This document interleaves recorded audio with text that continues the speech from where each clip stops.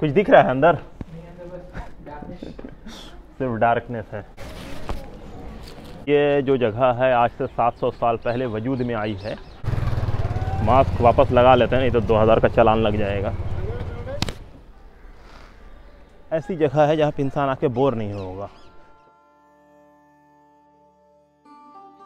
ये हौस खास metro station है। और अभी हम जा रहे हैं एक जगह।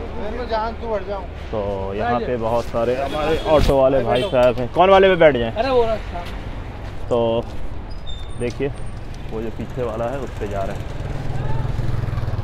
मास्क वापस लगा लेते हैं नहीं तो 2000 का चालान लग जाएगा। ब्रिज। देखिए ऑटो के अंदर अब आ चुके हैं। असल में पिछले एक हफ़्ते से एक चीज़ लगातार फील कर रहा हूँ, वो ये है कि अक्सर होता है कि हम पुरानी चीज़ों को देखते हैं, अब जहाँ हम रहते हैं और फिर भूल जाते हैं, गए नहीं गए। तो भोपाल के साथ भी ऐसा ही हुआ कि भोपाल में पाँच साल रहना हुआ, भोपाल की जितनी पुरानी मोनूमेंट्स है उसको घूमा नहीं। तो सेम दिल्ली के साथ भी पिछले तीन साल रहने के बाद वैसा ही एहसास हो रहा था। तो पिछले एक हफ़्ता से लग रहा था कि हम दिन भर का चार पाँच घंटा यूँ बर्बाद कर देते हैं। तो उसका कुछ यूटिलाइज़ किया जाए। तो उसी का एक रूप है आज कि हम जा रहे हैं हौस खास का जो पुराना इलाका है, जो तुगलक के दौर का फिरोज शाह तुगलक के दौर का के लिए। तो आप हमारे साथ बने रहिए, हम चलते हैं।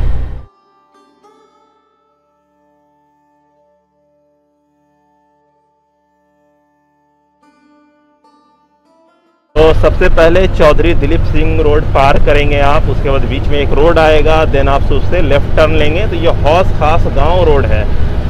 तो इस रोड पे आप देख रहे हैं, लगातार गाड़ी आ रही है और जा रही है तो हम यहीं जाते हैं। और यहीं पे वो पुराना गाँव है, जैसा आप यहाँ पे ये देखिए मॉन्यूमेंट आपको दिख भी रहा होगा। तो ये इसी चीज़ के लिए मशहूर है तो हम लोग फ़िलहाल इधर ही कहीं जा रहे हैं। तो आ गए हैं।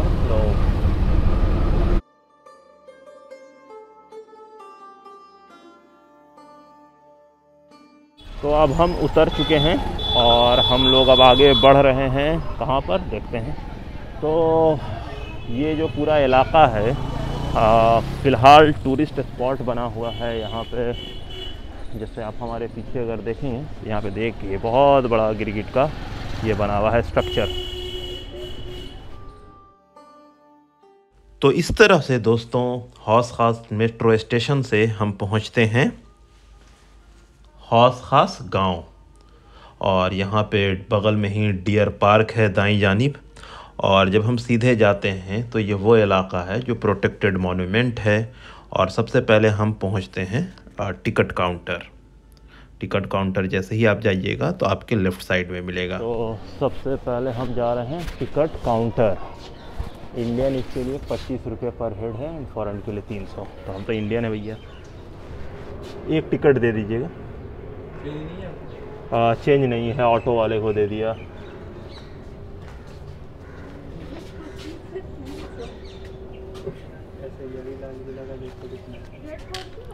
तीन टिकट भी है।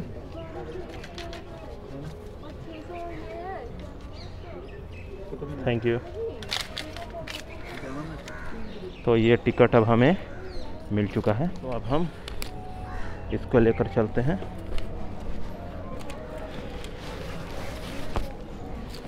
तो अब हमने दिखा लिया। तो ये देखिए मेन इंट्रेंस है। तो अब हम अंदर इंटर कर रहे हैं। और सामने ये देखिए खूबसूरत सी तीन सी इमारत है। और ये, वाह, क्या बात है।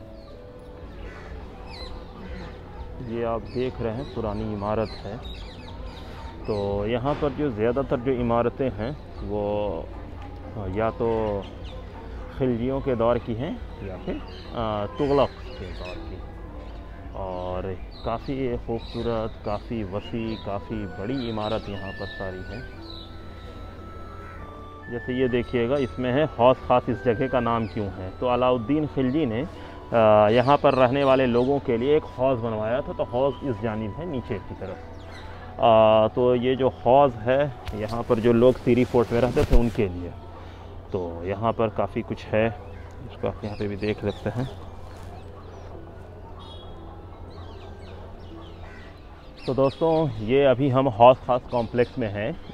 ये जो जगह है, आज से 700 साल पहले वजूद में आई है। और इस जगह को हौज़ ख़ास इस वजह कर कहते हैं क्योंकि यहाँ पे एक हौज़ है, काफ़ी बड़ा टैंक है, तालाब जिसको आप कह सकते हैं या झील भी लोग कहते हैं। मैन मेड है और ये अलाउद्दीन खिलजी के दौर में बना था। और जो मेडिवल पीरियड में कहा जाता है कि दिल्ली में कई शहर बसे थे तो ये दूसरा शहर है। यानी जो सीरी फोर्ट का जो इलाका था, जो खिलजी के दौर में आया था, पहला तो ममलूक हो गए, जो आज के डेट में आप कह सकते हैं कुतुब मीनार के आसपास का इलाका है। उसके बाद यहाँ खिलजी आए तो ये खिलजियों का इलाका है। तो यहाँ पे उन्होंने एक फ़ोर्ट बनवाया था और जिसको सीरी फोर्ट के नाम से जाना जाता है। सीरी फोर्ट बहुत मशहूर है। उसके बारे में ये कहा जाता है कि अलाउद्दीन खिलजी ने मंगोलों का गला काट के सर का ढेर लगा दिया था, इसलिए उसको सर से जोड़ा जाता है। बहरहाल, ये कहानी भी हो सकती है, लेकिन कहने का मतलब ये है कि सीरी फोर्ट की खूबी एक ये है कि सीरी फोर्ट दिल्ली का वाहिद एक फ़ोर्ट है, जिसने दिल्ली को डिफेंड कर लिया। अदरवाइज़, दिल्ली में ऐसा कोई भी किला नहीं है जो डिफेंड रहा मतलब सब कभी ना कहीं ढह गया। तो सीरी फोर्ट में मंगोल जब आए तो वो हार के गए हैं। और तो ये जो पूरा इलाका है आ, कहलाता है हौज ख़ास। काफ़ी बहुत बड़ा इलाका है काफ़ी वसी इलाका है काफ़ी पुराने पुराने मोनूमेंट्स हैं जैसे आप हमारे पीछे भी देख रहे होंगे। तो ये फ़िरोज़ शाह तुगलक और अलाउद्दीन खिलजी के दौर से ये जुड़ा हुआ है इससे लगा हुआ है। और इसकी वजह ये है कि पहले तुगलक आए और तुगलक से पहले यहाँ पे खिलजी आए खिलजी से पहले ममलूक थे। तो खिलजियों ने यहाँ पर बसाया, फिर उनके बाद तुगलक आए तो तुगलक ने भी इस इलाके को काफ़ी बढ़ाया चढ़ाया, फिरोज शाह तुगलक के दौर में। और ख़ास के जब तैमूर इस जगह आया था, जिसको तैमूर लंग के नाम से भी हम लोग जानते हैं तो उसने भी इस इलाके की खूबसूरती को देखकर काफ़ी मुतासर हुआ था। और ये मैं नहीं बोल रहा, यहाँ पर जो बोर्ड लगा हुआ उसमें भी यही बात है। तो ये है जैसा आप ये देख रहे हैं, ये पुरानी इमारत है। ये कम से कम 600 साल पुरानी तो ज़रूर है। तो इसके को आप अगर देख रहे हो, इसकी दीवारें हैं। तो इसमें बहुत सारी चीज़ मदरसा, मस्जिद और उस ज़माने में जो भी एडमिनिस्ट्रेटिव चीज़ हो सकती थी, उस ज़माने के हुक्मरानों ने बनाए थे। तो वक्त के साथ जैसे जैसे नई चीज़ बनती है तो पुरानी चीज़ ख़त्म होती चली जाती है। तो ऐसे में ये पुरानी ही इमारत आज के डेट में टूरिस्ट प्लेस है। तो यहाँ पे बड़ी संख्या में टूरिस्ट आते हैं। तो चलिए आपको अंदर लेकर चलते हैं।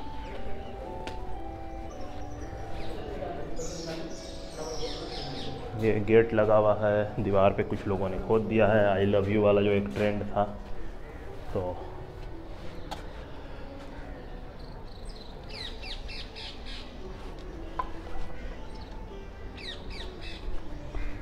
अगर आप इधर से देख सकते हैं। ये देखिए, अभी मैं इस तरफ़ से आया हूँ।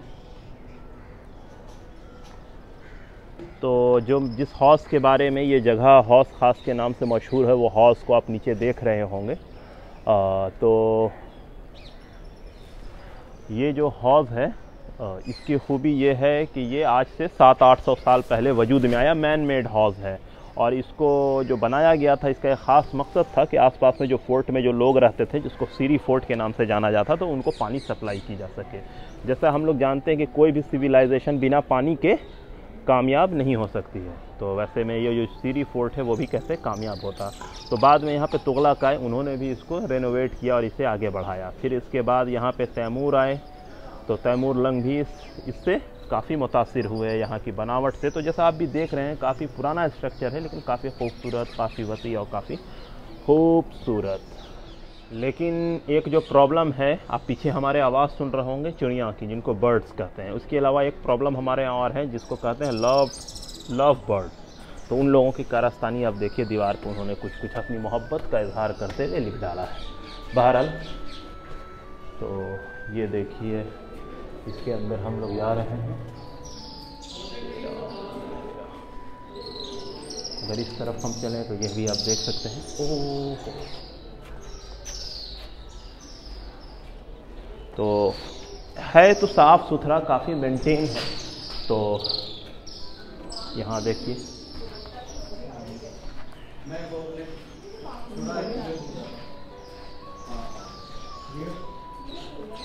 तो किसी भी मॉन्यूमेंट को अगर हम बचाते हैं या देखते हैं तो उसका दो तरीका होता है। एक तरीका वो कि हम उसकी कदर करें तो हम उसको बचा सकें। दूसरा फिर कि सरकार सख्ती करे, देन बच सकता है। लेकिन सख्ती से ज़्यादा ये है कि लोगों के अंदर धरोहर के तई ज़िम्मेदारी पैदा की जाए और उन्हें बताया जाए कि धरोहर क्यों ज़रूरी है। तो तब उसको हम और आसानी से बचा सकते हैं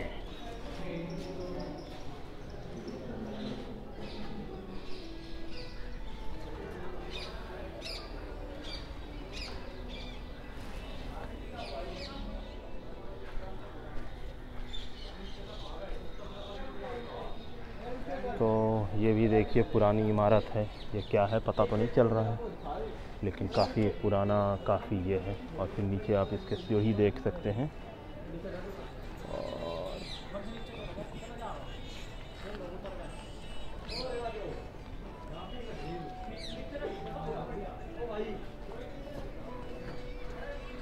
चलिए, आपको अंदर भी लेकर चलें।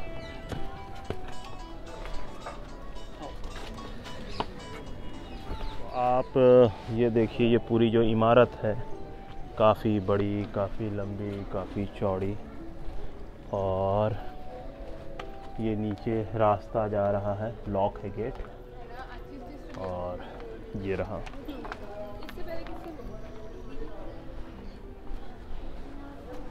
फिर ये देखिए, इंटर हम कर रहे हैं। ये कौन सी जगह है? मुझे खुद इसका इल्म नहीं बट कुछ तो रहा होगा ये। आज के ये जब हम देख रहे हैं पीछे पुरानी मॉन्यूमेंट्स हैं गुंबद हैं एंड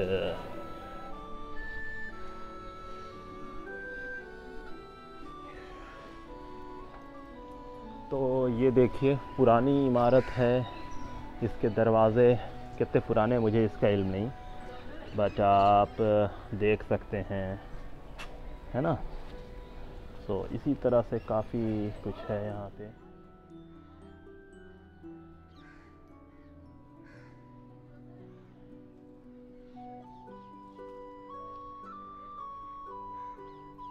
तो दोस्तों, ज़्यादातर इमारत के साथ प्रॉब्लम ये है कि ठीक ठाक मेंटेन है एसआई अपनी तरफ़ से जो कर सकती है, कर सकती है।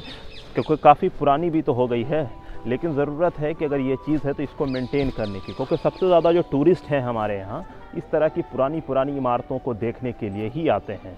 तो हमें अपने धरोहर की हिफाजत करनी चाहिए, उसकी कदर करनी चाहिए, और इससे सीखना चाहिए कि अगर हम आज कोई चीज़ बनाते हैं अगर उसको अच्छे से बनाते हैं मटेरियल अच्छे से इस्तेमाल करते हैं तो आज से 600, 700, 800 साल बाद आने वाली नस्लें उस चीज़ को देख पाएँगी।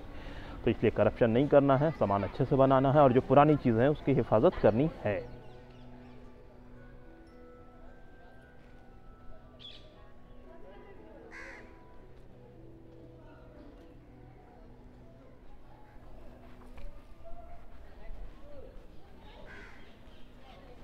तो दोस्तों अब इस तरफ़ से हम चल रहे हैं नीचे। तो अगर आप देख रहे होंगे तो ये रास्ता काफ़ी बेहतरीन। नीचे जाने का रास्ता कहाँ से मैं खुद ऊपर से भी नीचे ही आ रहा। मैं मैं निकल के आता देख के आता हूँ नीचे किस तरफ़ जाने के लिए? नीचे नीचे। आ, अब वही तो मुझे भी नहीं आइडिया है हो सकता। तो ये एक रूम देखिए ये क्या है? मुझे भी नहीं पता। दोस्तों हम्म, ये तो भूल भुलैया टाइप का है। शायद ये सब सब कभी रूम रहा हो कमरा रहा हो क्या रहा हो मुझे भी नहीं इल्म लेकिन जो भी चीज़ हो अब ये अच्छे हालात में तो फ़िलहाल नहीं है। ये देखिए अगर आप देख दोस्तों ये जैसा आप हमारे पीछे देख रहे हैं ये कमरा। अगर इसके अंदर चलें। कुछ दिख रहा है अंदर? सिर्फ़ डार्कनेस है। अंदर नहीं जाएँगे। तो जैसा आप देख रहे हैं यहाँ पर हमारे पीछे ये कभी इमारत वगैरह कुछ रही होगी क्योंकि धीरे धीरे वक्त के साथ ये ढह भी रही है तो आ, पता नहीं चल रहा है कि पहले इसका क्या नक्शा रहा होगा। अब मेरे हाथ कोई उस ज़माने का नक्शा लग जाए कि ये किस तरह की इमारत थी तो हम कुछ कह सकते हैं बहरहाल। तो ये देखिए ये कमरा नुमा ही है और किस तरह से इसे बनाया गया है इसे मैं खुद नहीं कर सकता। और ये अगर हम ऊपर से नीचे की तरफ़ देखें तो ये रास्ता है एक तरफ़। और इसमें हम जा सकते हैं। और ये काफ़ी अंधेरा है यहाँ पे। दोस्तों ये देखिए अंदर से जब हम आ रहे हैं बाहर की तरफ़ तो ये हौस के सामने निकल रहे हैं। ये देखिए कितनी ऊंचाई पे है तो ये एक तरह से किलाबंदी हो गई है मतलब इस तरफ़ से कोई भी दुश्मन नहीं आ सकता है। और दूसरा ये है कि सामने पानी है तो मतलब आबादी भी रहेगी, और इस तरफ़ आप देख सकते हैं, दोनों जानिब उसी तरह से किलाबंदी की गई है। और ये है, और ठीक इसके ऊपर आप देखिए, ये इस तरह से बनाया गया है। तो ये उस ज़माने के जो आर्किटेक्ट थे, उन्होंने किस तरह से इसे डिज़ाइन किया गया तो उनको इसके लिए वाह वाही तो मिलनी चाहिए। बहरहाल तो अब हम इस जानब चलते हैं। ये देखिए, बाहर निकल रहे हैं अपन। और ये क्या है? ज़रा इसे भी देख लेते हैं एक नज़र। ओह, ये भी कुछ था, कमरा रूम रहा होगा, फ़िलहाल ढह गया है। तो ये बचा। तो साफ़ सफ़ाई तो यहाँ पे काफ़ी अच्छी है, लेकिन वही है और मेंटेन करने की ज़रूरत। तो कमरे हैं छोटे छोटे यहाँ पे। अब इस कमरे का क्या कॉन्सेप्ट है? ये मुझे।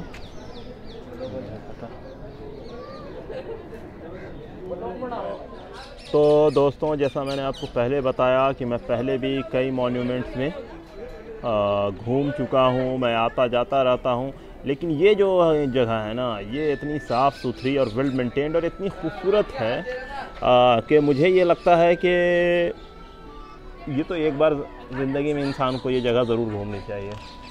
और काफ़ी मतलब साफ़ सुथरा और हरियाली है और जो यहाँ आने का टिकट है वो भी बहुत ज़्यादा नहीं है। तो तो हम ऊपर चल रहे हैं इस तरफ़ चलेंगे। है। ये देखिए।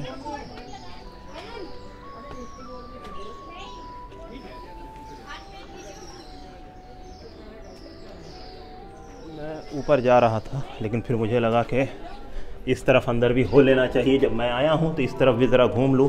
तो जैसा मैंने उस वक्त भी आपको दिखाया था कि किस तरह से यहाँ से लोग बाहर देख सकते हैं। काफ़ी खूबसूरत, काफ़ी वसी और बेहतरीन बना हुआ है। और काफ़ी ठंड का यहाँ पे एहसास हो रहा है। हो सकता है मौसम ठंड का है, इस वजह कर ऐसा लग रहा हो। तो ये ऐसा है क्या? ये मुझे खुद भी नहीं पता।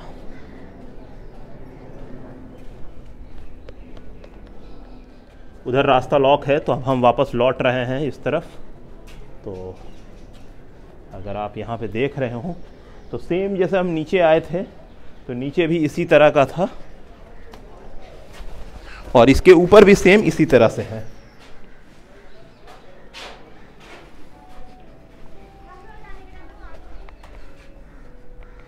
सो अब फाइनल चलते हैं ऊपर।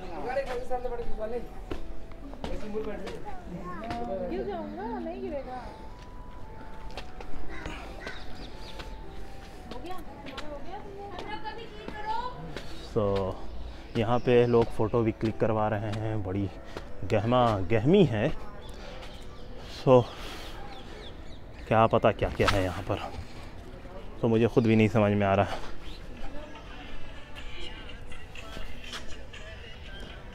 तो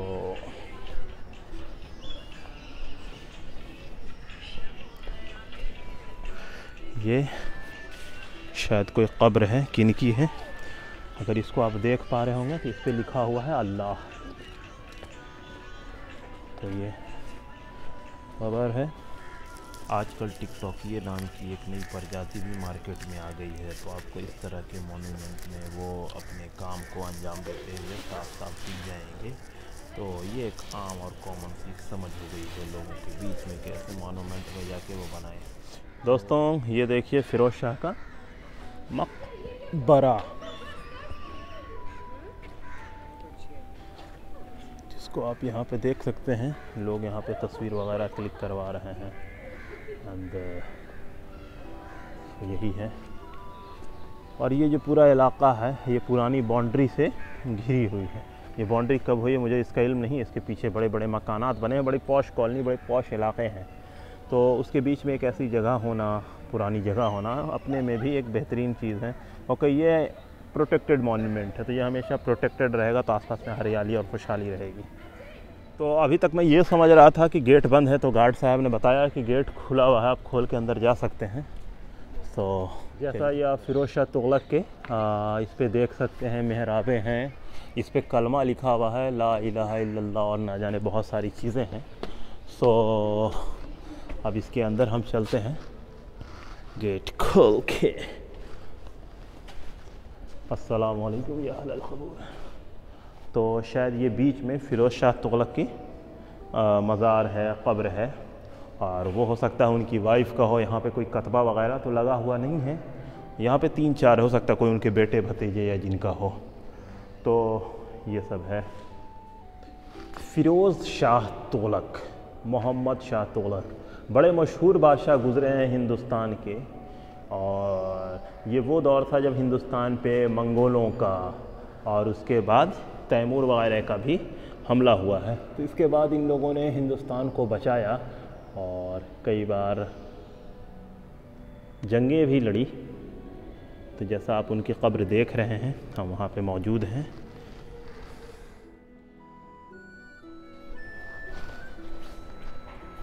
तो अब हम बाहर निकलते हैं, मकबरे के अंदर से। मैंने गेट लॉक कर दिया है, अब मैं वापस निकल रहा हूँ। तो देखा आपने, ये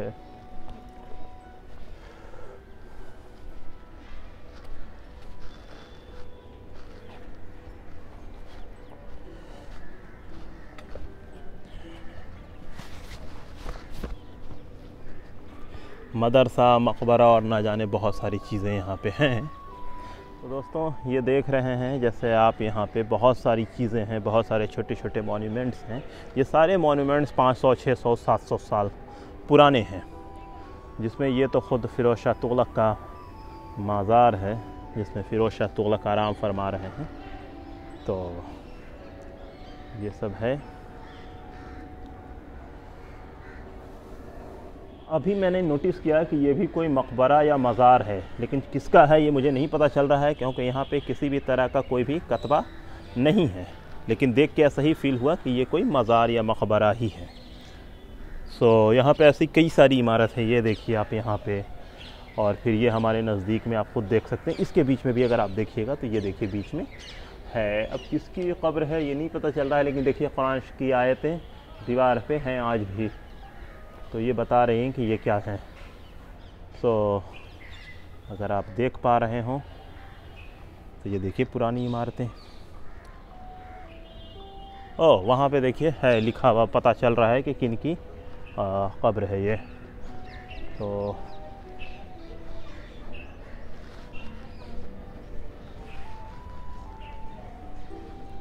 ये तुगलक कालीन मकबरे हैं। और इसके बारे में तो बहुत ज़्यादा कुछ जानकारी यहाँ पे मौजूद नहीं है कि ये किसके कब्र है, लेकिन दक्षिण, पूर्वी ये सारे इसके बारे में लिख के डाला गया है। सो, ये है, अगर आप देख रहे हो तो। सो,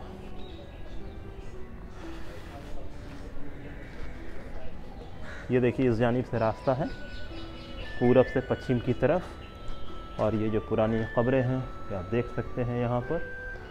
सो इसी तरह से इसमें भी सेम वैसा ही है और दूर बादशाह का है। तो हो सकता है वो बादशाह का रहा हो, ये उनके वज़ीर का हो। लेकिन बहरहाल मुझे नहीं पता है तो मैं इसको जज नहीं कर सकता। सो इसी तरह से देखिए एक कब्र यहाँ पे भी है।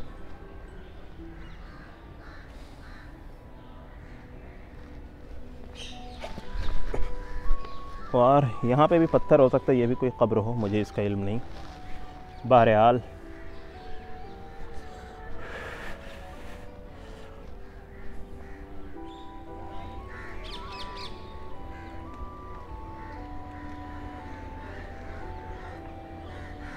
ये देखिए, यहाँ पे तीन गुंबद वाली इमारत है। दो सामने दिख रहा है, एक इसके पीछे है। लेकिन यहाँ पे जो बोर्ड लगा हुआ है, इसके हिसाब से ये कोई मकबरा है।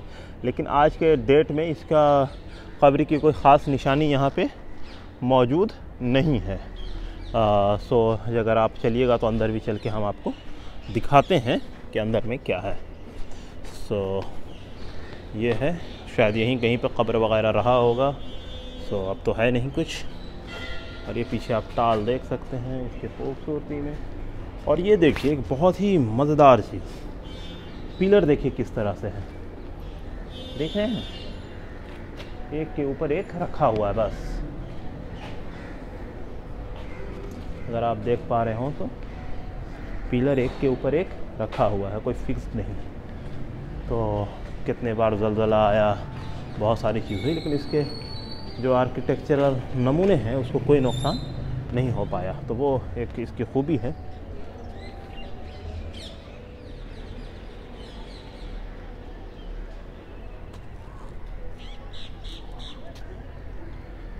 तो यही वो पार्क है तो आप देख सकते हैं यहाँ पे। और ये बीच में ताल है। और ये देखिए आप, पुरानी इमारत का हिस्सा, जो अभी तक कुछ बचा रह गया है। तो ये है इसकी वजह। ये मे भी शायद मस्जिद है, क्योंकि यहाँ पे बोर्ड लगा हुआ है। क्योंकि अच्छे से बोर्ड लगा हुआ नहीं तो पता नहीं चल पाता है कि कौन सी चीज़ क्या है। सो यही है। यहाँ पर देखिए, फिर से हम नीचे उतर रहे हैं और आपको अच्छे से हम वाइड एंगल से दिखाने चाहेंगे, ताकि आप देख सकें।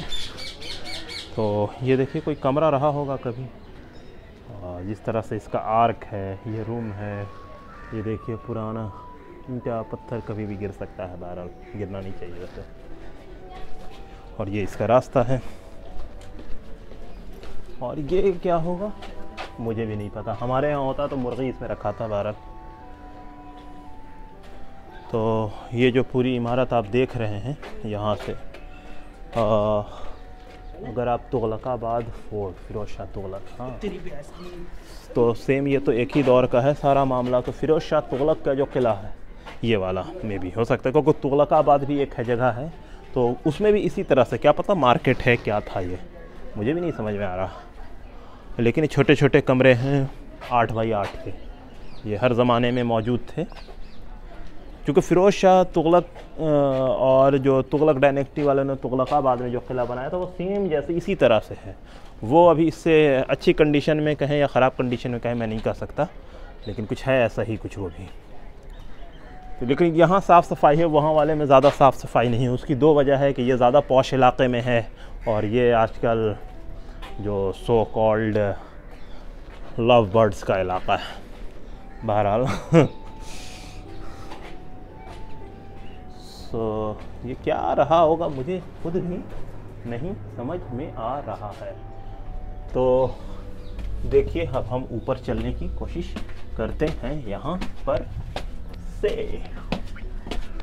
वाओ निकल गए बाहर। तो हम इसके अंदर से बाहर निकले थे अभी। और ये जो पूरा इलाका है, आप देखिए, अभी हम नीचे यहीं पर थे। तो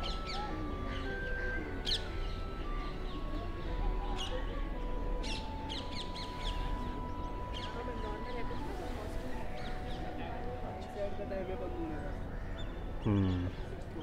तो ये सनसेट के बाद बंद हो जाता है। सनसेट देखने ही के लिए ज़्यादातर लोग यहाँ पर आते हैं। सो वो देखिए पुरानी मोनूमेंट पुराने मोनूमेंट्स और ये है पूरा ये। और ये चूँकि अब मगरिब का टाइम हो रहा है, यानी सनसेट का तो अब ये बंद होने का टाइम है। तो चलिए, हम वापस यहाँ पर से चलते हैं। और ये ये ये ये करके नीचे आ गए। और ये देखिए कहाँ पहुँचे हम? यहाँ पर। तो अक्सर कई दोस्तों का ये ख्याल होगा कि ये सारे इलाके वीरान क्यों हो गए क्या हुआ था यहाँ पर? तो इसकी दो तीन वजह है वो समझ लीजिए। पहला ये ये दिल्ली का दूसरा शहर है यानी आज से 700 साल पहले ये जगह आबाद हुई थी। उसके बाद दिल्ली में अलग अलग बादशाह आते रहे उन्होंने अलग अलग दौर में आ, आ, अपने अपने नए शहर बसाए। आखिरी जो शहर बसा है वो है आज का वो इलाका जहाँ पर राष्ट्रपति भवन है जिसको लुटियंस दिल्ली कहते हैं। उससे पहले शाहजहानाबाद था जो पुरानी दिल्ली थी। तो वो सारे इलाके थे। तो वो सारे इलाके थे तो वो बसता गया। मतलब कोई नया इलाका बसता है तो लोग वहाँ माइग्रेट कर जाते हैं और जो पुरानी सल्तनत रहती है, वो ढह जाती है, वो ख़त्म हो जाती है, लोग इधर से उधर चले जाते हैं। और एक चीज़ और होता है जेनोसाइड तो दिल्ली में बहुत सारे जेनोसाइड हुए हैं। जैसे नादिर शाह ने किया था, फिर जब अंग्रेज़ आया अठारह सौ सत्तावन में, उसमें जेनोसाइड हुआ। फिर उन्नीस सौ में जो मुल्क का बंटवारा हुआ, उसमें दंगे हुए। तो एक दूसरे का लोगों ने खून बहाया। तो ऐसे बहुत सारे जेनोसाइड आपस में होते रहे हैं। तो एक वीरान होने की वजह वही है कि जब नई सल्तनत आती है तो पुरानी चीज़ ख़त्म होती है तो इस तरह की ये सारी पुरानी चीज़ें ख़त्म हो गई। तो आपको जो नए इसमें आपको दिखेगा तो पुरानी दिल्ली आपको ज़्यादा, यानी जो शाहजहानाबाद का इलाका है, वो आपको ज़्यादा आबाद दिखेगा, पुराने सेंस में। फिर आप लुटियंस को देखिए, वो नया है, फिर नए नए बहुत सारे इलाके दिल्ली में बसते गए। तो वही है कि जब नई चीज़ कोई आएगी तो पुरानी चीज़ ख़त्म हो जाएगी। तो ये उसी का एक जीता जागता नमूना है। तो इससे हमें इबरत लेनी चाहिए, इससे हमें सीखना चाहिए। तो देखिए दोस्तों, यहाँ पे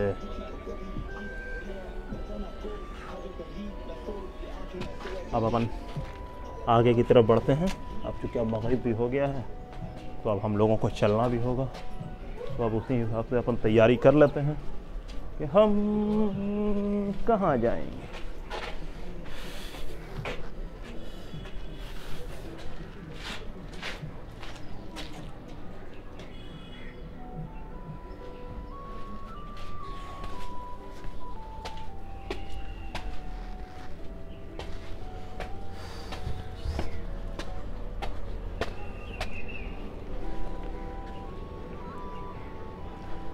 चलिए दोस्तों, आगे की तरफ़ चलते हैं।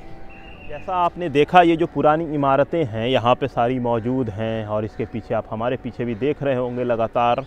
तो ये सारी प्रोटेक्टेड मॉन्यूमेंट्स हैं तो यहाँ पे मेरे हिसाब से आज जब मैं पहली बार यहाँ पे ऊपर में आ रहा हूँ तो मुझे ये लगता है कि लोगों को यहाँ पर आना चाहिए और ये एक ऐसी जगह है जहाँ पर इंसान आके बोर नहीं होगा। क्योंकि यहाँ पे सिर्फ़ पुराने स्ट्रक्चर नहीं है, बल्कि यहाँ पे पुराने हौज़ हैं और उसे साफ़ सुथरा और मेंटेन रखा गया है। यहाँ पे पार्क वगैरह भी उसी तरह से बनाया गया है, साफ़ सुथराई का पूरा ख्याल रखा गया है जिसकी वजह कर काफ़ी अच्छा माहौल है यहाँ पे। तो दीजिए हमें इजाज़त, हम फिर आपसे इसी तरह से मुलाकात करते रहेंगे। आपको हम अपने अपने अलग अलग व्लॉग में इसी तरह से मोनूमेंट्स पुरानी पुरानी चीज़ें और देखते ही, बाकी बहुत सारी चीज़ करते हैं, आपको दिखाते रहेंगे। तो दीजिए इजाज़त। अगर आपको हमारा वीडियो पसंद आया तो सब्सक्राइब नहीं करने कहीं कहीं तो ठीक है। सब्सक्राइब कर सकते हैं वैसे। चलिए, ठीक है, शुक्रिया।